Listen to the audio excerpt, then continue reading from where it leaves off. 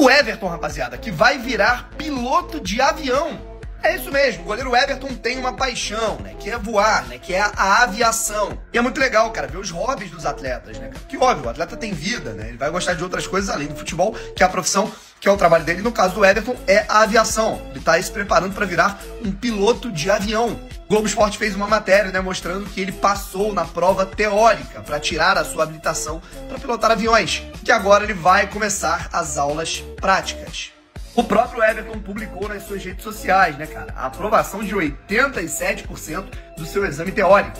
Ele, portanto, já tem o certificado dos conhecimentos técnicos, ou seja, o CCT, ele já garantiu e agora começam as aulas práticas, né, com o simulador, né, e também pilotando o avião. Dito isso, tirando a habilitação, já pensou o Everton pilotando o avião da Leila Pereira do Palmeiras? Comenta aí.